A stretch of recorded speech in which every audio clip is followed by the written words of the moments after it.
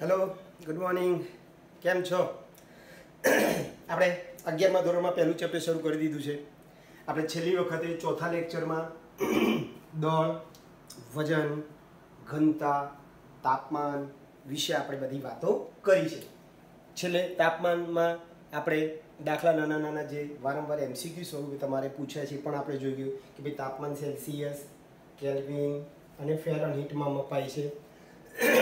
Celsius અને Fahrenheit વચ્ચેનો સંબંધ શું છે? ફેરનહીટ અને સેલ્સિયસ વચ્ચેનો સંબંધ શું છે? સેલ્સિયસ કેલ્વિન વચ્ચેનો સંબંધ શું છે? બધા સંબંધ આપણે લખી અને એને રિલેટેડ સાવ સાદા નાના નાના સૂત્રો ઉપરથી આપણે દાખલા ગણ્યા. બહુ જ વાર પૂછાય છે. ઓકે દોસ્તો? તો આજે આપણે હવે લેક્ચર પાંચ તરફ જઈ રહ્યા છીએ.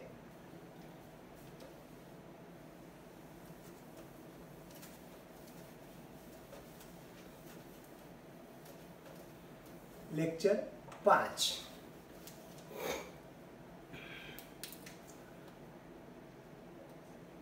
લેક્ચર પાંચમાં આપણે વૈજ્ઞાનિક અંક પદ્ધતિ આજે જોવી છે. વૈજ્ઞાનિક અંક પદ્ધતિ.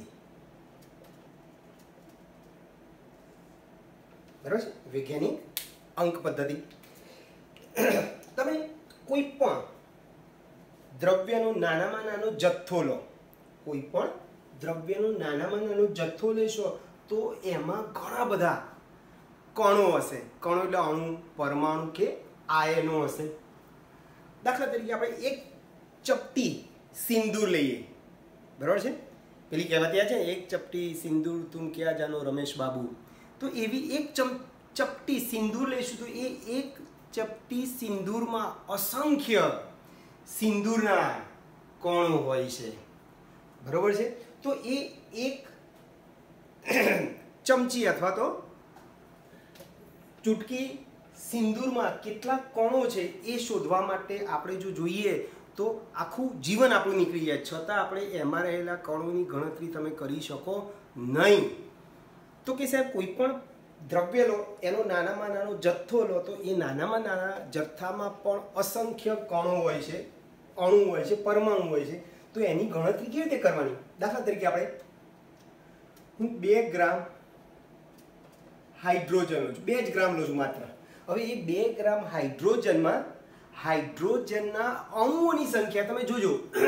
છસો બે, બસો, અને હું છ વાર ત્રણ મિનિટ લખું જોજો એક, બે, ત્રણ, ચાર, પાંચ, અને છ. આટલા કણો હોય. જુઓ તો, ખાલી મેં બે ગ્રામ જ હાઇડ્રોજન લીધું છે. તો એમાં આટલા બધા એચ ટુના અણુ હોય. હવે આટલી બધી સંખ્યા તમારે જો ગણવા બેસવી હોય, તો વર્ષોના વર્ષો નીકળી જાય. તો કે સાહેબ, આને આપણે ટૂંકમાં લખવું હોય તો કેવી રીતે તમે લખી શકો?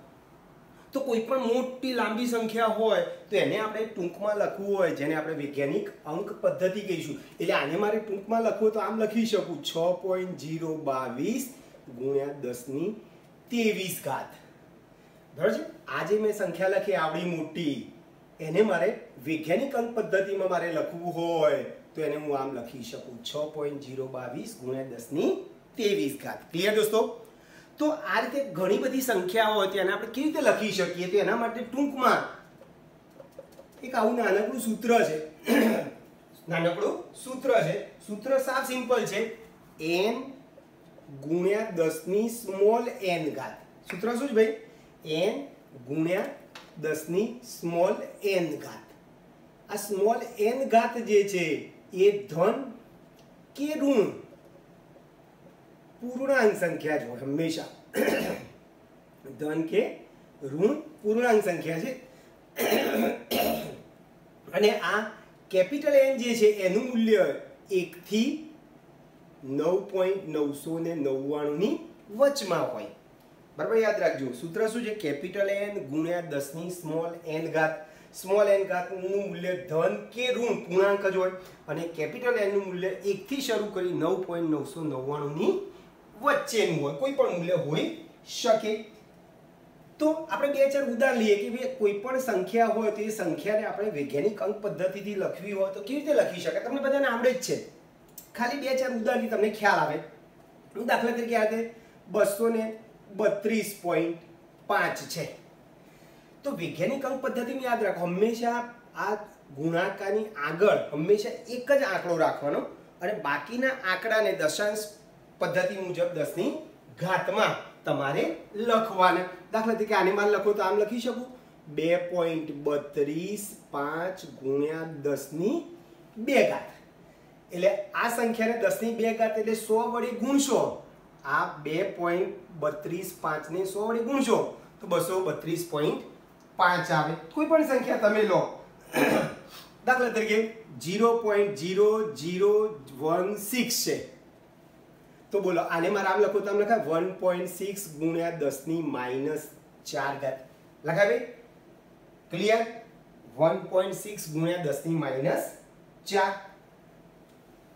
હા કોઈ પણ સંખ્યા જીરો પોઈન્ટ જીરો બ્યાસી. બોલો અને આમ લખો તો આમ લખાય, આઠ પોઈન્ટ બે ગુણ્યા દસની માઇનસ બે. ક્લિયર તમે? બે હજાર વીસની સાલ ચાલે છે, તો બોલો, બે હજાર વીસને લખો તો આમ લખાય, બે પોઈન્ટ જીરો બે જીરો ગુણ્યા દસની કેટલી ઘાત થશે ભાઈ? ચાર ઘાત થશે કે ત્રણ ઘાત થશે ભાઈ? ત્રણ ઘાત થાય ને? ત્રણ વડે, એટલે હજાર વડે તમે આને ગુણશો. તો તમારી આ સંખ્યા આવી ગઈ. તો તમે કોઈ પણ સંખ્યા હોય તેને આપણે વૈજ્ઞાનિક અંક પદ્ધતિથી તમારે દર્શાવી હોય તો પોઈન્ટની આગળ એક આંકડો રાખવાનો અને બાકીની સંખ્યા અનુરૂપ દસની ઘાતમાં તમારે આંકડા લખવાના છે. હવે આ જે વૈજ્ઞાનિક અંક પદ્ધતિ મુજબ જે સંખ્યા આપણને મળી છે, એ સંખ્યાનો તમારે સરવાળો કે બાદબાકી કરવી હોય તો શું? કેવી રીતે કરી શકાય? એની આપણે હમણાં ચર્ચા કરીએ છીએ. તો પહેલાં પહેલાં ક્લિયર ભાઈ તમે કોઈ પણ દ્રવ્યનો ઓછામાં ઓછો જથ્થો લેશો તે ઓછામાં ઓછા જથ્થામાં પણ અસંખ્ય અણુ, પરમાણુ કે આયન હશે. દાખલા તરીકે બે ગ્રામ તમે હાઇડ્રોજન લેશો, તો બે ગ્રામ હાઇડ્રોજનમાં આટલા બધા હાઇડ્રોજનના અણુ હશે. આવડી મોટી સંખ્યાને આપણે વૈજ્ઞાનિક અંક પદ્ધતિથી લખવી હોય, તો એકદમ સરળ થઈ ગયું. આટલી મોટી સંખ્યા લખવા કેટલી બધી વાર લાગે? એના કરતાં જુઓ, છ પોઈન્ટ જીરો બાવીસ દસની ત્રેવીસ ઘાત તમે લખી શકો. ટૂંકમાં વૈજ્ઞાનિક અંક પદ્ધતિ માટે એક નાનકડું સૂત્ર યાદ રાખો એન ગુણ્યા દસની સ્મોલ એન ઘાત. સ્મોલ એન એ ધન કે ઋણ પૂર્ણાંક સંખ્યા આ આ ધન છે, આ ઋણ છે બરાબર આ ઋણ છે, આ ધન પૂર્ણાંક સંખ્યા જ હોય. અને આગળ કેપિટલ એન જે છે, એનું મૂલ્ય એકથી નવ પોઈન્ટ નવની વચ્ચે હોય. એટલે નવ પોઈન્ટ નવસો નવ્વાણુંની વચમાં હોઈ શકે.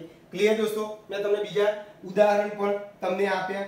ક્લિયર ભાઈ? સપોઝ કે આ રીતે છે. છેલ્લું ઉદાહરણ બે, ત્રણ, ચાર બે મીંડા બે, ત્રણ, ચાર, બે મીંડા તો આને લખવું હોય તો કેવી રીતે લખીશું ભાઈ? બે પોઈન્ટ ચોત્રીસ ગુણ્યા દસની કેટલી ઘાત લખીશું? ચાર ઘાત લખશો, પાંચ ઘાત લખશો. કેટલી ઘાત લખીશું ભાઈ? તો ચાર ઘાત. બરાબર છે? ઓકે? આમ હોય. હજુ એક મીંડું તમે વધારો. તો શું થઈ જશે? બે પોઈન્ટ ચોત્રીસ ગુણ્યા દસની પાંચ ઘાત તો આ રીતે તમે લખી શકો છો. હવે આપણે આ જે વૈજ્ઞાનિક અંક પદ્ધતિથી જે આપણને મૂલ્યો મળે છે, એ મૂલ્યોનો તમારે સરવાળો કે બાદબાકી, કે ગુણાકાર, કે ભાગાકાર કરવો હોય તો કેવી રીતે કરી શકાય એની આપણે થોડેક બે ચાર ઉદાહરણ લઈને આપણે સમજીએ. બરાબર જોઈ લેજો આ ઘાત.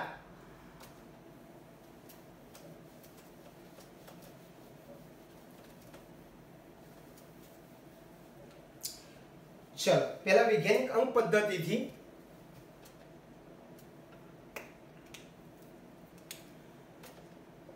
વૈજ્ઞાનિક અંક પદ્ધતિ.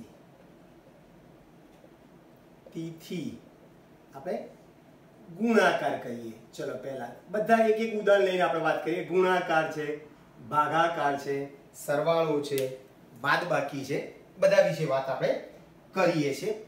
આપણે દાખલા તરીકે પાંચ પોઈન્ટ છ ગુણ્યા દસની પાંચ ઘાત.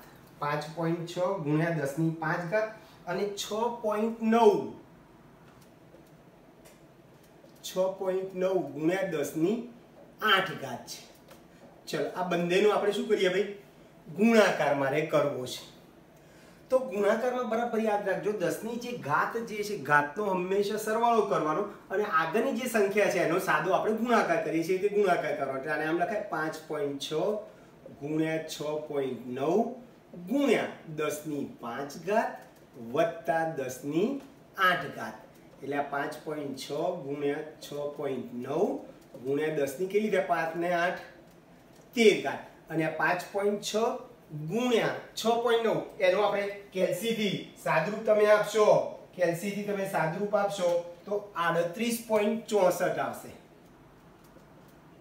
આડત્રીસ પોઈન્ટ ચોસઠ આવશે. ગુણ્યા દસની તેર ઘાત. હવે મારે મેં હમણાં જ કીધું પોઈન્ટની આગળ, વૈજ્ઞાનિક અંક પદ્ધતિમાં પોઈન્ટની આગળ એક જ આંકડો જોઈએ, એટલે અહીંયા હું ત્રણ પોઈન્ટ આઠ છ ચાર ગુણ્યા દસની ચૌદ ઘાત.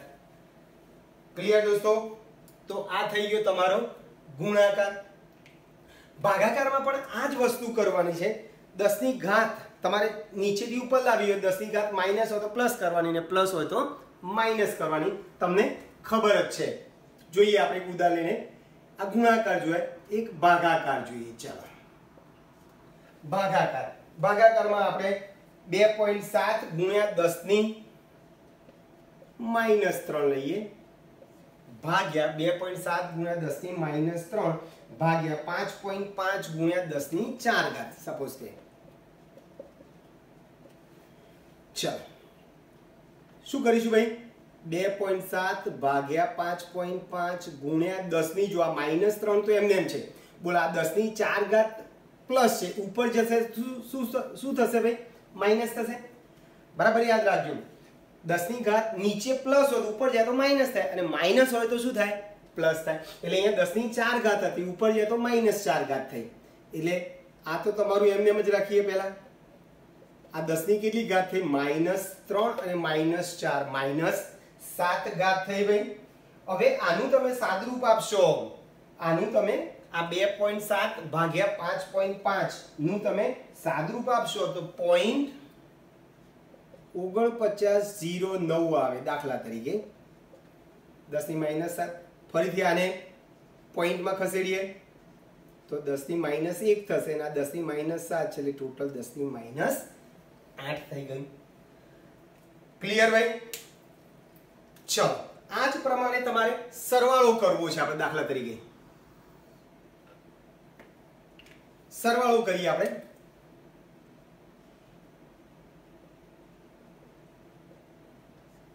બરાબર છે? સરવાળો કરીએ આપણે. સપોઝ કે છ પોઈન્ટ પાસઠ ગુણ્યા દસની ચાર ઘાત. છ પોઈન્ટ પાસઠ ગુણ્યા દસની ચાર ઘાત વત્તા વત્તા આઠ પોઈન્ટ પંચાણું ગુણ્યા દસની ત્રણ ઘાત. ચાલો. ક્લિયર હવે જો સરવાળો કે બાદબાકી કરો ત્યારે બરાબર યાદ રાખજો, દસની ઘાત તમારે સરખી હોવી જોઈએ. સરખી ના હોય તો એ દસની ઘાતને તમારે સરખી કરવાની. બરાબર છે? કેવી રીતે? દાખલા તરીકે બંને રીતે જવાબ આવશે. સપોઝ કે આ દસની ચાર ઘાત છે અને દસની ત્રણ ઘાત છે. બરાબર છે? ચલો, આ એમને એમ રાખીએ. છ પોઈન્ટ પાસઠ ગુણ્યા દસની ચાર ઘાત અને આને હું દસની ચાર ઘાતમાં મારે ફેરવવું છે. તો અહીંયા પોઈન્ટ એટ નાઇન ફાઈવ થશે. બરાબર છે? પોઈન્ટ એટ નાઇન ફાઈવ કોઈ કહે સાહેબ, મારે આને ત્રણ ઘાતમાં ફેરવે સપોઝ કે આને છ પોઈન્ટ પાસઠ ગુણ્યા દસની ત્રણ ઘાત છે, એને મારે દસની ત્રણ, ચાર ઘાત છે અને દસની ત્રણ ઘાતમાં ફેરવે તો શું કરીશું? ભાઈ, આને આમ લખાય. જો છાસઠ પોઈન્ટ પાંચ ગુણ્યા દસની ત્રણ ઘાત. આને આમ પણ લખાય. આને આમ રાખો. જો બંને વખતે જવાબ તમારા સરખા જ આવશે. જવાબમાં કોઈ ફરક નહીં પડે. ચલો, અહીંયા ઘાત સરખી કરી દીધી ભાઈ મેં. એટલે ઘાતમાં શું થઈ જશે? હવે પહેલા આગળ વાળો સરવાળો કરીએ. છ પોઈન્ટ પાસઠ વત્તા પોઈન્ટ એટ નાઇન ફાઈવ તો સાત પોઈન્ટ પાંચ, સાત પોઈન્ટ પાંચ, ચાર પાંચ ગુણ્યા દસની ચાર ઘાત જવાબ આવ્યો બરાબર છે? હવે એ જ વસ્તુ જો આપણે અહીંયા શું કર્યું? દસની ત્રણ ઘાતને દસની ચાર ઘાતમાં ફેર્યો અને જવાબ લઈએ હવે સપોઝ કે દસની ચાર ઘાતને આપણે દસની ત્રણ ઘાતમાં આમ લખો લખી છે છાસઠ પોઈન્ટ પાંચ ગુણ્યા દસની ત્રણ ઘાત. અને આ આઠ પોઈન્ટ, એમને એમ જ છે, આઠ પોઈન્ટ પંચાવન દસની ત્રણ ઘાત. તો આનો જવાબ તમે કરશો? સરવાળો કરશો તમે. તો પંચોતેર પોઈન્ટ પિસ્તાલીસ આવશે. હવે પંચોતેર પોઈન્ટ પિસ્તાલીસ ગુણ્યા દસની ત્રણ ઘાત. ફરીથી વૈજ્ઞાનિક અંક પદ્ધતિમાં આપણે એક પોઈન્ટ રાખીએ. તો ગુણ્યા દસની ચાર ઘાત એટલે જો બંને જવાબ તમારા સરખા છે. એટલે તમે દસની ચાર ઘાત એમ એમ રાખીને દસની ત્રણ ઘાતને ચાર ઘાતમાં ફેરવ્યો. દસની ત્રણ ઘાતને ચાર ઘાતમાં ફેરવીને જવાબ લાવ્યો તો આટલો આવ્યો. અને એ જ પ્રમાણે દસની ચાર ઘાતને દસની ત્રણ ઘાતમાં ફેરવી અને તમે સાદરૂપ આપો તો જવાબ તમારો એકનો એક જ આવે છે. ક્લિયર દોસ્તો? તો આ તમે સરવાળો કરે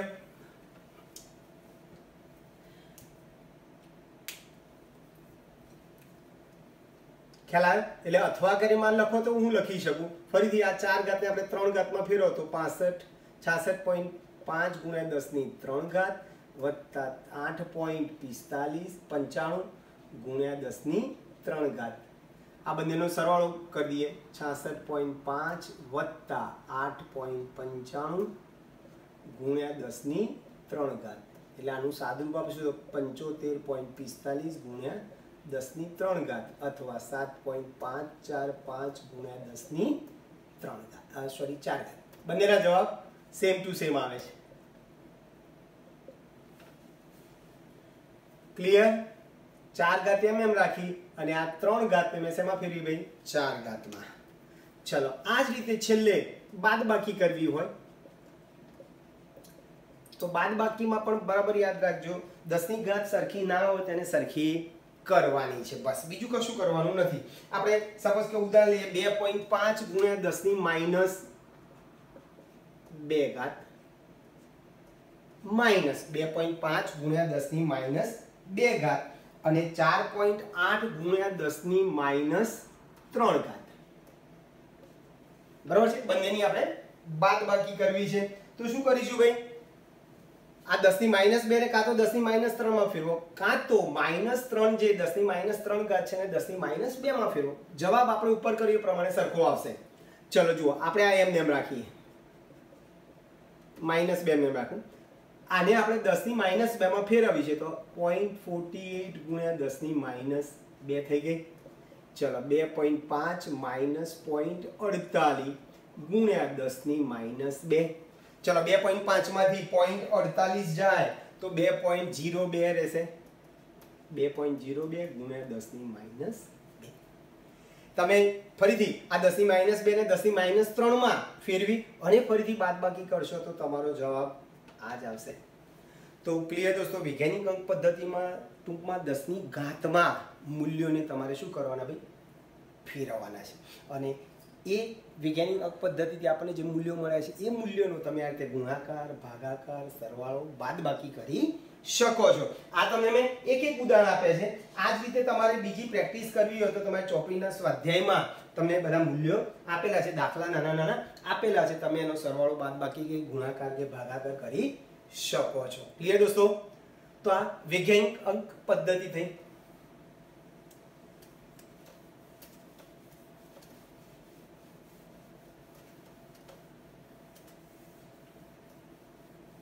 પછી આવે છે તમારે પરિશુદ્ધતા.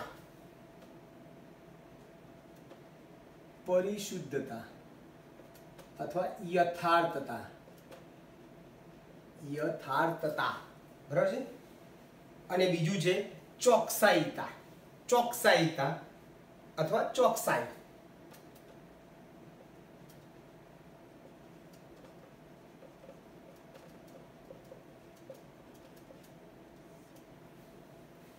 ચોક્કસતા. ચલો, પહેલા તો પરિશુદ્ધતા અથવા યથાર્થતા કોને કહેવાય? તો સાવ સિમ્પલ છે કે તમે કોઈ એક પદાર્થનું દળ કે કોઈ મૂલ્ય તમે માપો છો, તો એ મૂલ્ય પેલા માપેલા મૂલ્યો સાથે કેટલા એકબીજાની નજીક છે, એનો નિર્દેશ કરે છે. એટલે એક જ જથ્થાના જુદા જુદા માપનના મૂલ્યો.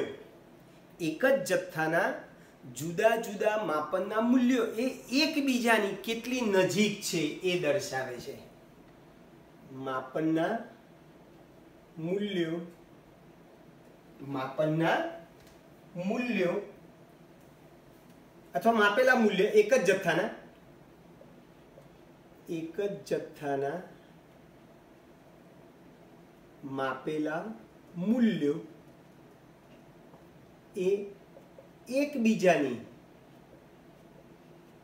કેટલી નજીક છે? એકબીજાના કેટલી નજીક છે? તે દર્શાવે છે. પરિશુદ્ધતા અથવા યથાર્થતા શું સૂચવે છે ભાઈ તમે એક જ જથ્થો લો છો, કોઈ પદાર્થનો એક જથ્થો લો છો, એ જથ્થાનું મૂલ્ય તમે ત્રણ વાર માપો છો, તો એ તમે જે મળેલું મૂલ્ય, માપેલું મૂલ્ય, એ એકબીજાની નજીક કેટલું છે, એ શું દર્શાવે છે ભાઈ? પરિશુદ્ધતા.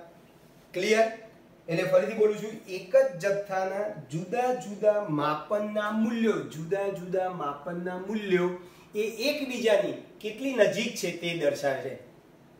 બરાબર છે? અને ચોકસાઈતા તમે જે મૂલ્ય મળ્યું, એ પેલા સાચા મૂલ્યની કેટલી નજીક છે એ ચોકસાઈ દર્શાવે છે. બરાબર? મળેલું મૂલ્ય, મળેલું અથવા માપેલું મૂલ્ય એ સાચા મૂલ્યની કેટલી નજીક છે તે દર્શાવે છે. ચોકસાઈ અથવા ચોકસાઈતા શું સૂચવે છે? તમે જે માપેલું મૂલ્ય જે છે, એ પેલા સાચા મૂલ્યની કેટલી નજીક છે, એ ચોકસાઈથી દર્શાવી શકો. અને એક જ જથ્થાના માપેલા મૂલ્યો એ એકબીજાની કેટલી નજીક છે, એ પરિશુદ્ધતા દર્શાવે છે. એક ઉદાહરણ લઈએ તો તમને વધારે ખ્યાલ આવશે. ચાલો, જુઓ. દાખલા તરીકે હું બે ગ્રામ ધાતુનો ટુકડો લઉં છું. બરાબર સમજો એક્ઝેક્ટ ધાતુના ટુકડાનું સાચું મૂલ્ય કેટલું છે? બે ગ્રામ. ધાતુનો ટુકડો. એક્ઝેક્ટ સાચું મૂલ્ય બે ગ્રામ છે એવું.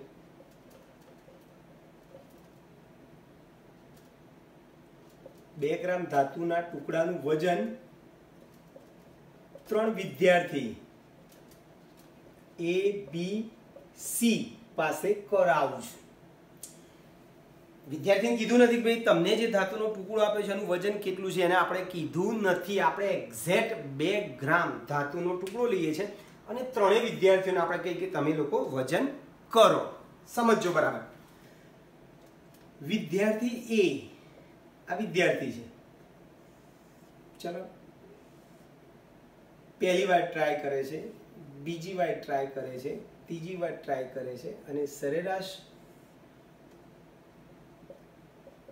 મૂલ્ય કેટલું મળે છે? આપણે જોઈએ. ચલો, વિદ્યાર્થી એ છે વિદ્યાર્થી એ જે છે, એ શું કહેવાય? નબળો છે, ભણવામાં થોડો બરાબર છે? તોફાની પણ છે અને ભણવામાં નબળો પણ છે. એટલે એને આપણે કીધું ભાઈ, આ ધાતુનો ટુકડો છે, એનું તું વજન કર. આપણને ખબર કે ધાતુના ટુકડાનું વજન કેટલું છે ભાઈ? બે ગ્રામ છે. તો વિદ્યાર્થી એ જે છે, એ વજન કરે છે.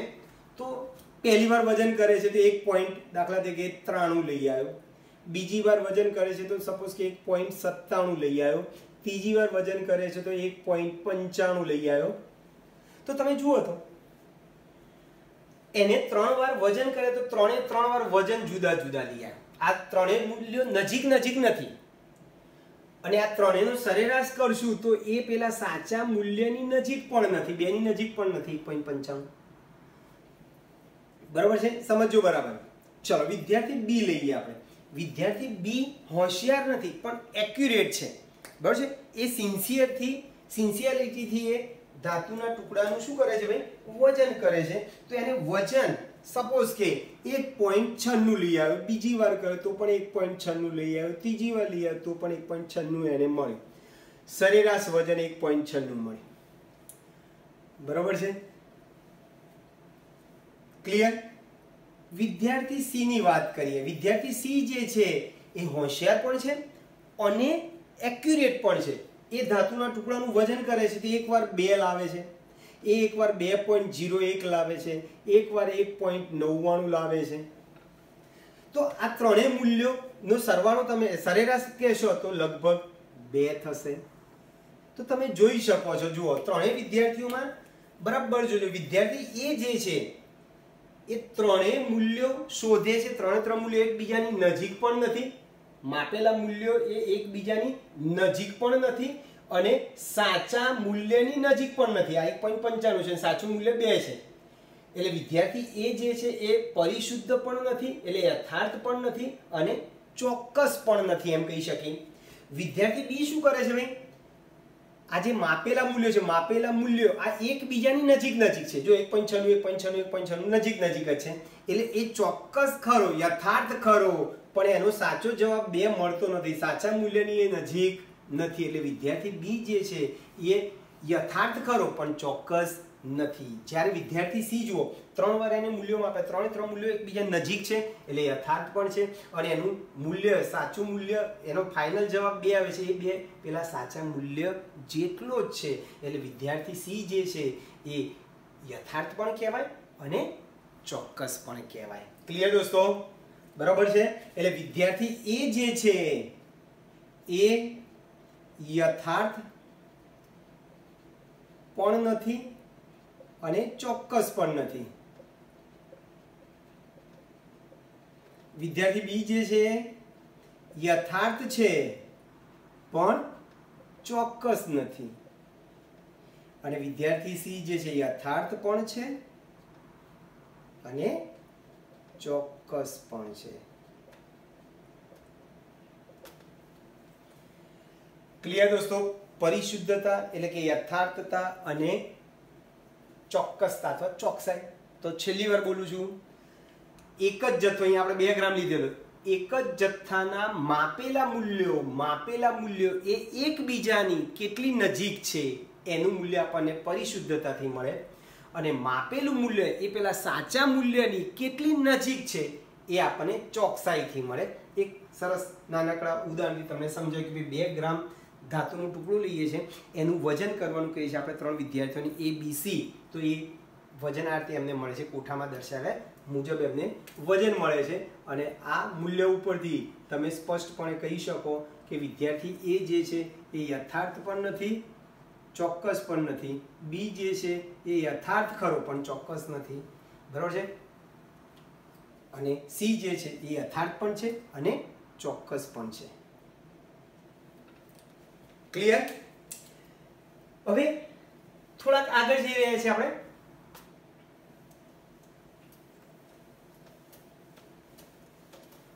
અર્થસૂચક અંકો સાર્થક અંકો. આમાંથી બી ઘણીવાર તમારે એમસીક્યુ પૂછાય છે.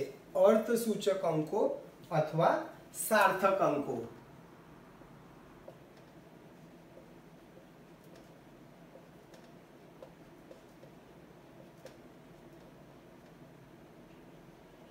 સાર્થક અંકો બરોબર છે? ચલો. તો આપેલ સંખ્યાના ચોક્કસ આપેલ સંખ્યાના ચોક્કસ અર્થપૂર્ણ અંકોને અર્થસૂચક અંકો કહીશું. શું કીધું ભાઈ? આપેલ સંખ્યાના આપેલ સંખ્યાના ચોક્કસ અર્થપૂર્ણ સંખ્યાને, અંકોને, આંકડાઓને આપણે શું કહીશું? અર્થસૂચક અંકો. હવે વારંવાર પૂછાય કે ભાઈ કોઈ પણ સંખ્યા આપી દે, એ સંખ્યામાં અર્થસૂચક અંક કેટલા? તો એના માટેના સાદા સાદા નાના નાના નિયમો છે. એ નિયમોની આપણે વાત કરવાની છે. હું દરેક નિયમના બે બે ચાર ચાર ઉદાહરણ તમને આપતો જઉં છું. નિયમ નંબર એક. નિયમ નંબર એક શું કહે છે? કે ભાઈ શૂન્ય સિવાયના તમામ અંકોને અર્થસૂચક અંક તરીકે ગણી શકો. શૂન્ય સિવાયના તમામ અંકોને એ અર્થસૂચક અંકો છે. શૂન્ય સિવાયના તમામ અંકો એ શું છે ભાઈ? અર્થસૂચક અંક છે. દાખલા તરીકે જોજો, બરાબર? છેતાલીસ. બોલો, આમાં કેટલા? આંકડા છે બે. તો અર્થસૂચક અંક બે થાય. ચલો, ચાર પોઈન્ટ છ લઈએ. તો આમાં પણ કેટલા આંકડા થાય? બે થાય. ચાર, પાંચ, છ, સાત. તો બોલો, આમાં કેટલા આંકડા થયા? ચાર. બસ શૂન્ય સિવાયના બધા જ અંકો એ અર્થસૂચક અંક તરીકે ઓળખાય છે. આમ લખું, પાંચ પોઈન્ટ છ, ત્રણ, નવ. તો બોલો, આમાં કેટલા? અર્થસૂચક અંક કહેવાય, ભાઈ. ચાર કહેવાય બસ કોઈ પણ તમે લો ઓકે ચલો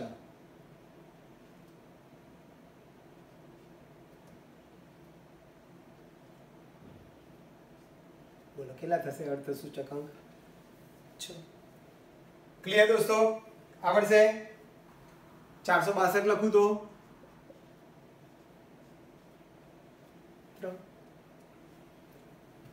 ઓકે હજુ લઈએ પંચોતેર પોઈન્ટ પંચોતેર તો અર્થસૂચક અંક કેટલા થશે ચાર થશે તો નિયમ નંબર એક ક્લિયર પાકો ભાઈ એકદમ મસ્ત ફરીથી બોલું છું શૂન્ય સિવાયના તમામ અંકો એ બધા જ અંકો જે છે અર્થસૂચક અંક તરીકે ગણાય છે નંબર બે પોઈન્ટની આગળ શૂન્ય હોય અને પોઈન્ટ પછી તરત શૂન્ય આવતું હોય. તો એવા શૂન્યને તમારે અર્થ સૂચક અંક તરીકે ગણતરીમાં લેવાના નહીં. શું કીધું ફરીથી? પોઈન્ટની આગળ ફક્ત શૂન્ય હોય. આંકડા નહીં, ફક્ત શૂન્ય હોય. અને પોઈન્ટ પછી તરત જ શૂન્ય આવતા હોય. તો તેવા શૂન્યોને અર્થસૂચક અંક તરીકે ગણવાની. ઉદાહરણ આપું બે હજાર, એટલે તમને ખ્યાલ આવે. દાખલા તરીકે જીરો પોઈન્ટ જીરો બત્રીસ. જીરો પોઈન્ટ જીરો બત્રીસ. તો જુઓ આ પોઈન્ટની આગળ ફક્ત શૂન્ય છે. પોઈન્ટ પર તરત જ શૂન્ય શરૂ થયો. તો આ શૂન્યને તમારે ગણવાનું નહીં. તો બોલો, આંકડા કેટલા રહ્યા ભાઈ? બે. તો અર્થસૂચક અંક કેટલો થાય? બે. સપોઝ કે zero point triple zero five તો બોલો, અર્થસૂચક અંક કેટલા થશે? આ ત્રણ શૂન્ય અને આ શૂન્યને ગણીશું નહીં. એટલે અર્થસૂચક અંક કેટલો થયો ભાઈ તમારો? એક. જીરો પોઈન્ટ ડબલ ઝીરો ચારસો ચોર્યાસી. ચલો, તો આમાં અર્થસૂચક અંક કેટલા થશે ભાઈ? આ ઝીરોને ગણીશું નહીં. ત્રણ. બરોબર છે ભાઈ? ઝીરો પોઈન્ટ ઝીરો બ્યાસી લો તો. બે. બરાબર છે? કોઈ પણ તમે લો. ઝીરો પોઈન્ટ એક, બે, ત્રણ, ચાર, પાંચ, છ, સાત. તમારે જે લેવાય, ચલો, સાત લો. બોલામાં અર્થસૂચક અંક કેટલું થશે? એક જ થશે. તો બીજો નિયમ હિસાબ સિમ્પલ છે. પોઈન્ટની આગળ શૂન્ય હોય અને પોઈન્ટ પછી તરત જ શૂન્ય આવતું હોય, તો એવા શૂન્યને તમારે અર્થસૂચક અંક તરીકે ગણતરીમાં લેવાના નહીં. ક્લિયર બીજો નિયમ? ત્રીજો નિયમ. નિયમ નંબર ત્રણ.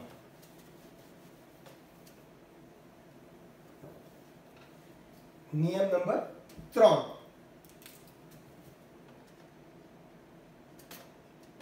બે અંકોની વચ્ચે આવતા શૂન્યને અર્થસૂચક અંક તરીકે ગણવા. બે અંકોની વચ્ચે જે શૂન્ય આવે છે, એ શૂન્યને તમારે અર્થસૂચક અંક તરીકે ગણતરીમાં લેવાના. દાખલા તરીકે, ચલો જુઓ. બે પોઈન્ટ ઝીરો ત્રણ. તો બોલો. આ બે અંકની વચ્ચે ઝીરો આવે છે. એટલે આ ઝીરો તમારે ગણવાના. એટલે ટોટલ અંક કેટલા થયા ભાઈ? ચાર. ક્લિયર બે પોઈન્ટ ડબલ ઝીરો પાંચ. બોલો. આ અંક ત્રણ થયા અહીંયા ઉપર. ચલો, અહીંયા બે અંકની વચ્ચે ઝીરો છે. એટલે અહીંયા અર્થસૂચક અંક ચાર થશે. આ વચ્ચેના બે શૂન્યને તમે ગણતરીમાં લેશો.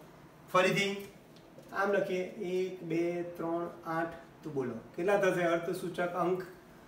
પાંચ થાય બેન. ખ્યાલ આવે છે બધાને? ફરીથી.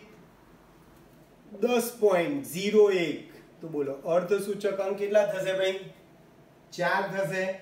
બે પોઈન્ટ અથવા તો આમને બસો પોઈન્ટ ડબલ ઝીરો એક. બોલો. અર્ધસૂચક અંક કેટલા થશે?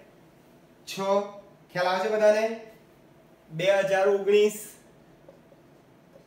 અર્થસૂચક અંક કેટલા થશે? ચાર. ક્લિયર તો સાવ સિમ્પલ છે? બે અંકની વચ્ચે જે જે શૂન્ય આવે છે, બધા શૂન્યોને તમારે અર્થસૂચક અંક તરીકે ગણતરીમાં લઈ શકો. નિયમ નંબર ચાર આવું કહે છે. નિયમ નંબર ચાર, કે પૂર્ણાંક સંખ્યામાં છેલ્લે રહેલા શૂન્યને ગણવા નહીં. પૂર્ણાંક સંખ્યામાં. પૂર્ણાંક સંખ્યામાં છેલ્લે રહેલા શૂન્યોને અર્થસૂચક અર્થ સૂચક અંક તરીકે ગણવા નહીં. પૂર્ણાંક સંખ્યામાં છેલ્લે જે શૂન્ય હોય છે એને તમારે ગણવાના નહીં. દાખલા તરીકે હું સો લઉં છું. તો આ સો પૂર્ણાંક સંખ્યા છે. તો પૂર્ણાંક સંખ્યામાં છેલ્લે રહેલા શૂન્યોને, આ છેલ્લા બે જે શૂન્યો છે એને ગણવાના નહીં. એટલે આમાં અર્થસૂચક અંક તમારો એક થશે. બરાબર જોજો, ફરીથી. હું બસો લઉં તો બોલો આમાં એક જ થશે, આ બગડું જ પાંચસો લઉં તો બોલો કેટલું થશે? એક જ થાય ભાઈ ખ્યાલ આવે છે બધાને? ચારસો ને ત્રીસ લઉં. તો આ શૂન્ય નહીં ગણાય. કેટલા થશે? બે. ચલો. બે હજાર વીસની સાલ લઈએ. તો કેટલા થશે? છેલ્લો શૂન્ય ગણવાનો નહીં. કેટલા થશે ભાઈ? ત્રણ થશે. ખ્યાલ આવે બધાને? ચલો. બાર, પિસ્તાલીસ, એક, બે, ત્રણ. તો બોલો. આ છેલ્લા ત્રણ શૂન્ય ગણીશું નહીં તો ટોટલ અર્થસૂચક અંક ચાર થશે. ખ્યાલ આવે ભાઈ બધાને? એટલે પૂર્ણાંક સંખ્યામાં છેલ્લે રહેલા શૂન્યો, ને આપણે અર્થસૂચક અંક તરીકે ગણતા નથી. પણ, નિયમ નંબર પાંચ.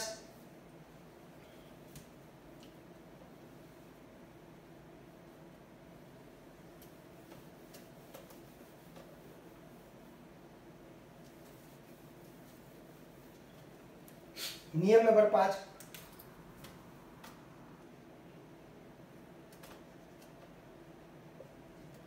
પોઈન્ટ પછી પોઈન્ટ પછી સંખ્યા હોય અને તેની પાછળ શૂન્ય હોય પોઈન્ટ પછી સંખ્યા હોય અને તે સંખ્યા ની પાછળ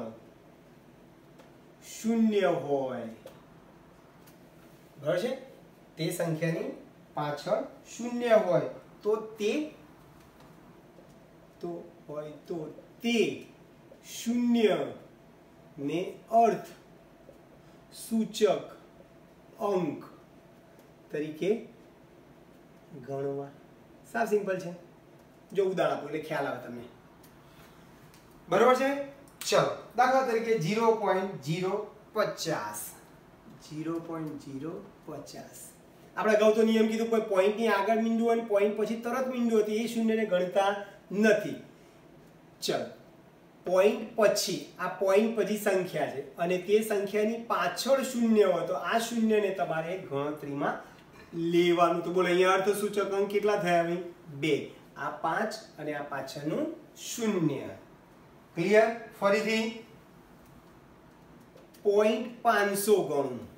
તો બોલો, અહીંયા અર્થસૂચક અંક કેટલા થશે ભાઈ? પાંચ પછીના જે બે મીંડા છે તમારે ગણતરીમાં લીધા. પોઈન્ટ ઝીરો ચારસો. તો આ ત્રણ આવશે અર્થસૂચક અંક. તમારા કેટલા ગણાશે ભાઈ? ત્રણ. ખ્યાલ આવે છે બધાને? ફરીથી.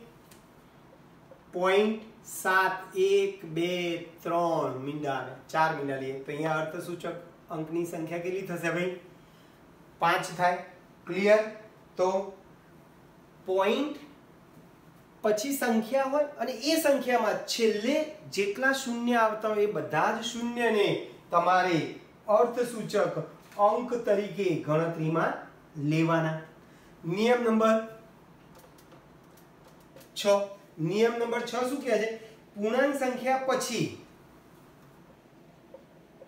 પૂર્ણાંક સંખ્યા પછી દશાંશ ચિહ્ન.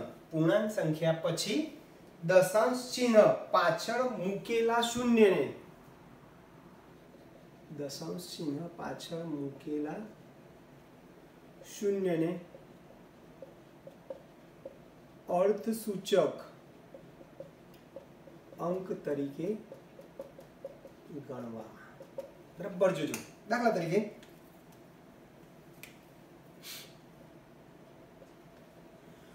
બરાબર, જોજો.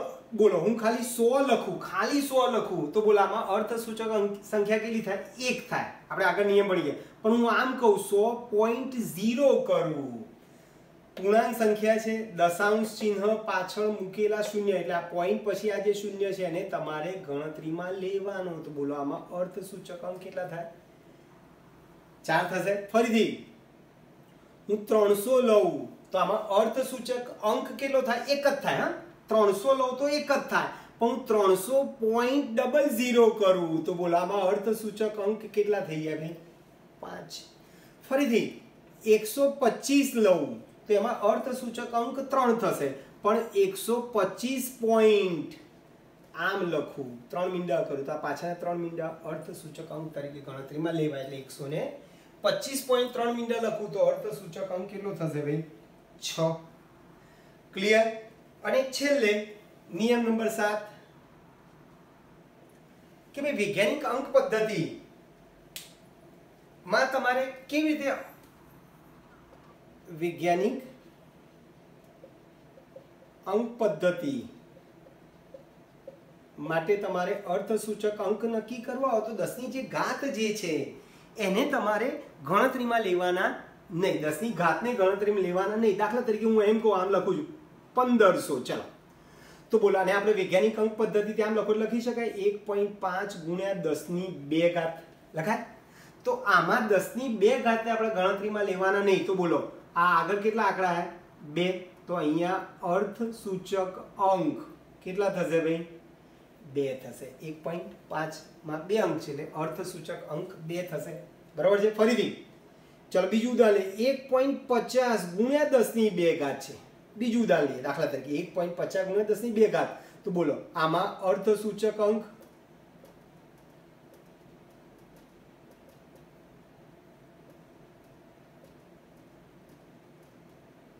બોલો, આમાં અર્થ સૂચક અંક કેટલા થશે?